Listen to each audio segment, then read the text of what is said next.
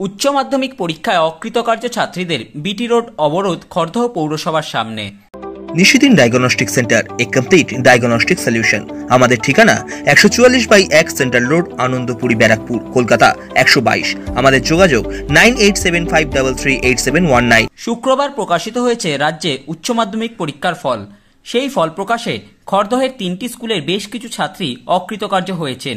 তাদের পাশ করানোর দাবিতে খড়দহ পৌরসভার পৌরপ্রধান নীলু সরকারের সঙ্গে সাক্ষাৎ করতে সোমবার দুপুরে তারা পৌরসভায় আসেন।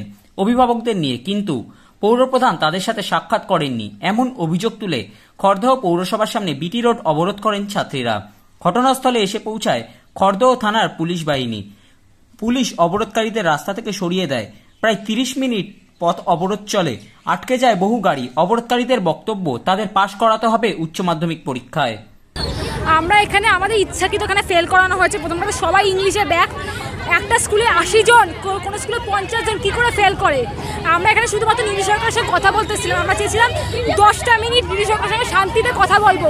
কিন্তু নীতি সরকার ভেতরে থাকা সত্ত্বেও আমাদের সঙ্গে বাইরে এসে কোঅপারেট করেনি। কেন কোঅপারেট করেনি? আমরা দশটা মিনিট ঠান্ডা মাথায় কথা বলতে চেয়েছিলাম। কিন্তু আমাদের সঙ্গে নীতি সরকার উত্তর দেয়নি। কালকে আমরা হেড মিস্ট্রেসের কাছে গেছিলাম, সেও আমাদের উত্তর দেয়নি। কেন আমাদের লাইফ নিয়ে কেন চিনিমিনি খেলা হচ্ছে এইভাবে? আমাদের লাইফ নিয়ে কেন চিনিমিনি খেলা হচ্ছে? আমরা শুধু সুবিচারটা চাইছি আমরা চাইছি আমরা সবাইকে পাস করিয়ে দেওয়া হোক। আমাদের পাঁচ সাত নম্বরের জন্য ফেল করিয়ে দেওয়া হয়েছে তো আমাদের পাস করিয়ে দেওয়া আমরা আর কিছু চাই না। আমার শুধু এতটুকুই দাবি। কোন স্কুলে আশি জন কোন স্কুলে পঞ্চাশের ওপরে?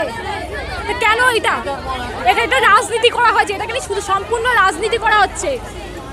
আমাদের স্কুলে আমাদের গেছিলাম আমরা অনলাইনে দেখেছিলাম যে আমাদেরকে আমাদের রেজাল্টটা দেখাচ্ছে আনসাকসেসফুল তাই আমরা স্কুলে গেছিলাম স্কুল থেকে বললে এখানে আসতে একটা চিঠি দিতে কিন্তু কাউন্সিলরকে চেয়ারম্যান চেয়ারম্যানকে চিঠি দিতে বলছে কিন্তু তিনি বলছেন এগারোটার সময় আসবে বারোটার সময় আসবে একটার সময় আসবে কিন্তু আসছে না। লাস্ট পর্যন্ত এখন বলছে আসবে না।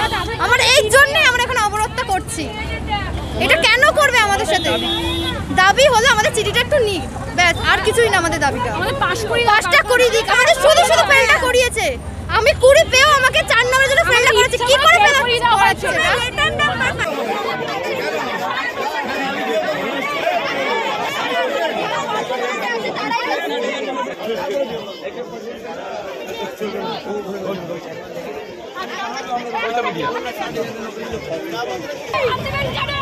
উনি আমাদেরকে হাতটা কি করবেন